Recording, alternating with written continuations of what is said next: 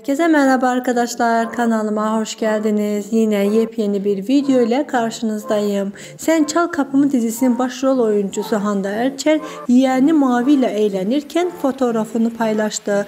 Ben de bu görüntüleri hayranları için videomda düzenledim. Şimdilik benden bu kadar. Umarım videomu beğenmişsinizdir. Öyleyse bana destek olarak kanalıma abone olmayı ve bol bol yorum yapmayı unutmayın. Hoşçakalın, sağlıkla kalın ve Allah'a emanet kalın.